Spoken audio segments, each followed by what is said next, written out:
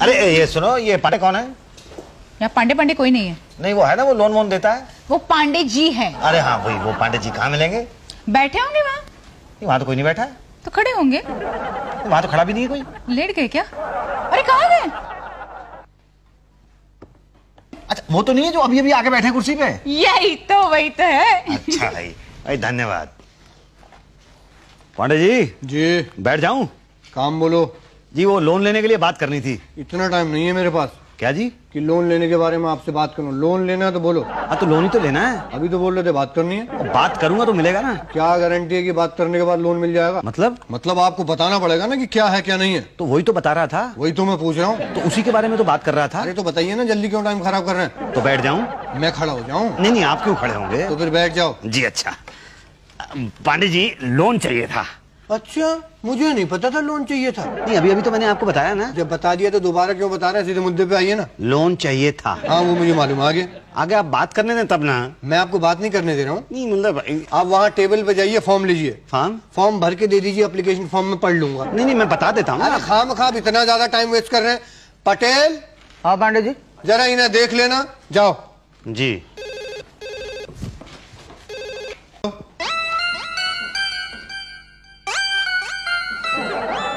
पटेल साहब? क्या है? पटेल साहब आप मुझे ऐसे क्यों देख रहे हैं? अभी पांडे जी ने कहा ना कि पटेल साहब देख लो इन्हें तो मैं देख रहा हूँ आपको। नहीं नहीं नहीं उनका मतलब था कि आप मेरी बात सुन लीजिए।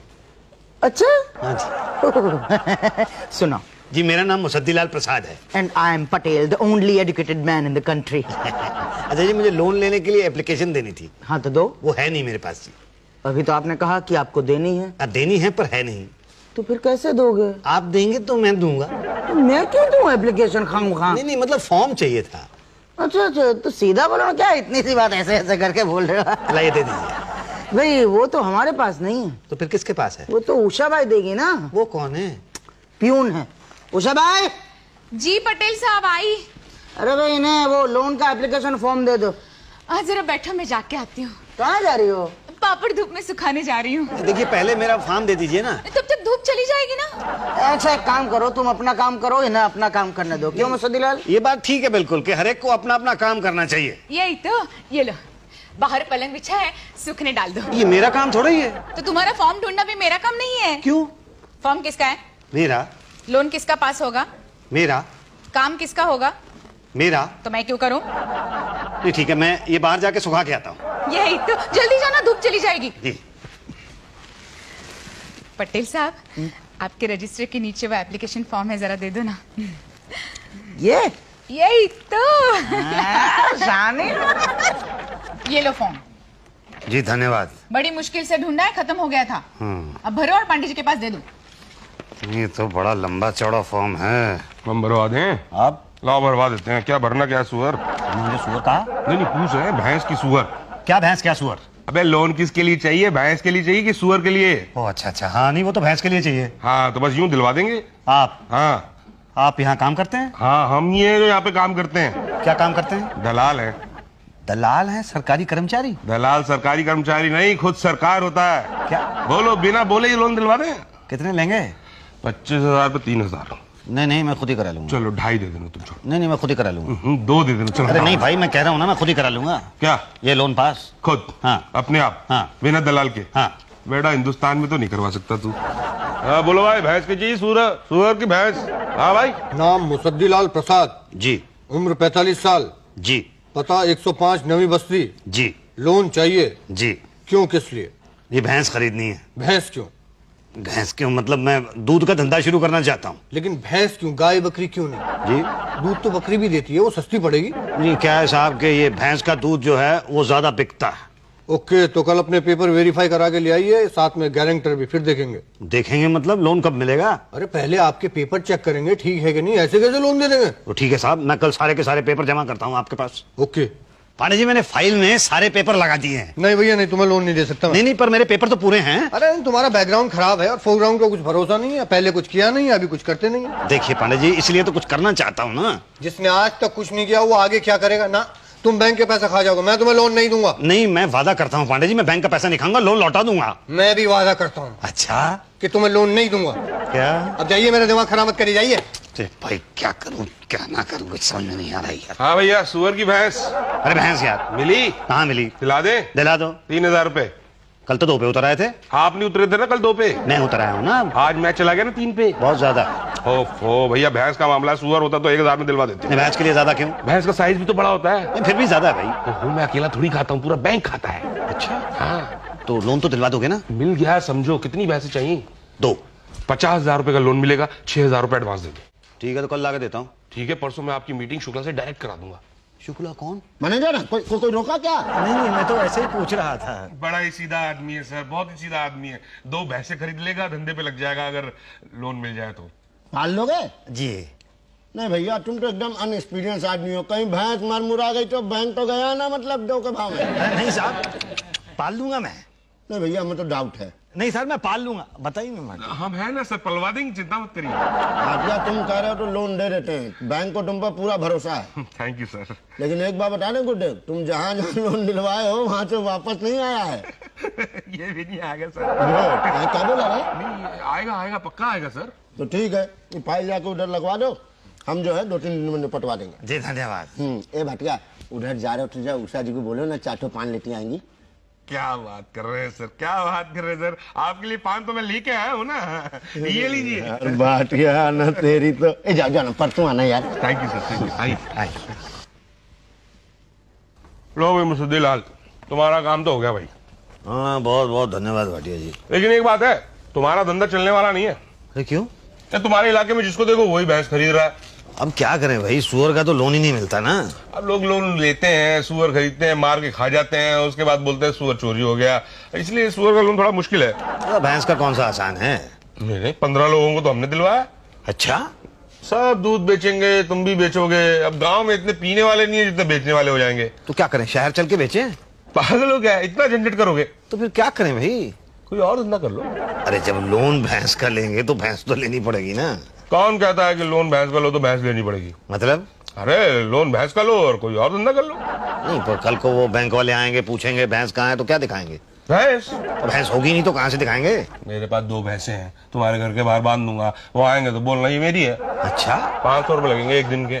क्या? हाँ ढाई सौ रुपए पर भैंस और दस हज़ार रूपए लोन में से। क्या कह रहे चालीस हज़ार बचेंगे तुम्हारे पास उसमें से कोई और धंधा कर लेना ना दिल करे तो मत करना। नहीं अगर कुछ गड़बड़ हो गई तो? बोल देना भैंस चोरी हो गई। तो लोन तो वापस करना पड़ेगा। हम्म इंक्वायरी चलेगी चलती रहेगी। अरे थाने में सौ दो सौ रुपए खिला देना ना इंक्वायरी पूरी होगी ना लोन चुकाना पड़ेगा। नहीं वैसे आइडिया तो बहुत अच्छा है पर पर पर गिनना परिंदे के अकाउंट खुलवा लो तुम तो। अकाउंट क्यों? बैंक वाले लोन हाथ में नहीं देते अकाउंट में देते हैं। नहीं नहीं नहीं ये रूल है। पूछना मत क्यों? नहीं नहीं मैं नहीं पूछूँगा। मैंने तो देखिए अकाउंट खुलवा लिया है। कहाँ? आपके बैंक में। क्यों? ये नियम है ना।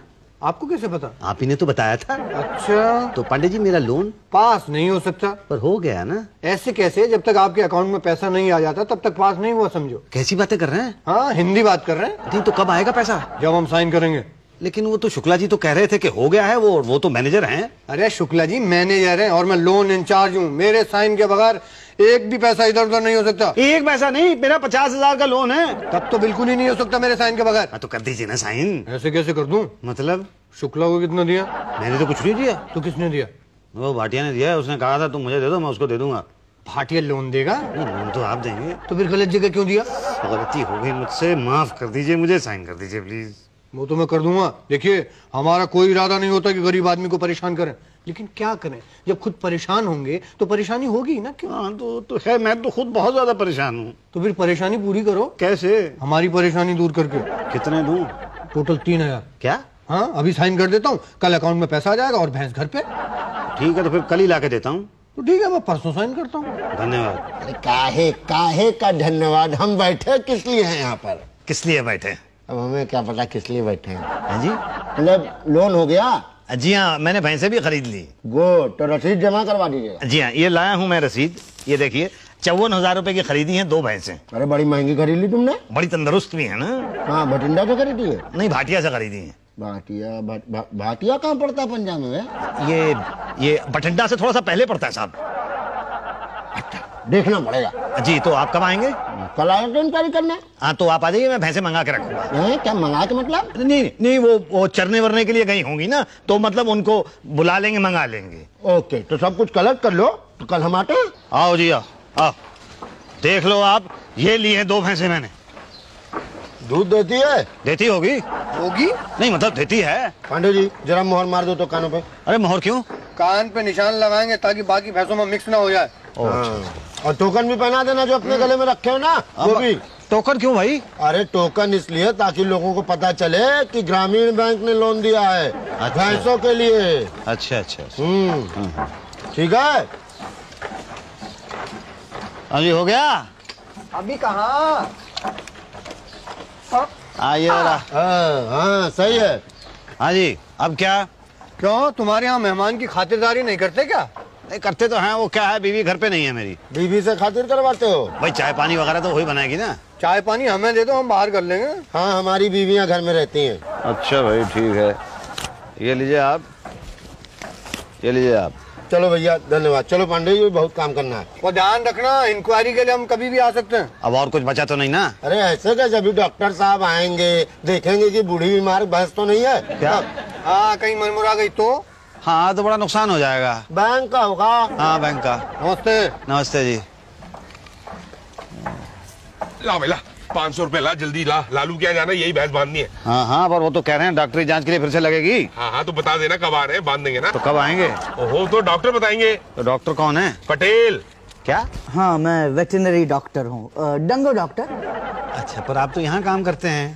थैंक यू सो मच अब पहले आदमी हो जो ये कह रहे हो कि मैं यहाँ काम करता हूँ। मेरा मतलब था कि आप मतलब यहाँ बैठते तो हैं।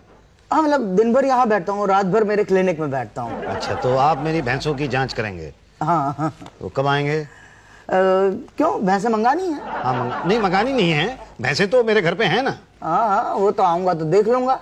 तो कब आएँगे? क्यों पूछ रहे हो? मैं घर पे रहूँगा ना। अच्छा इनकेस नहीं हुए तो?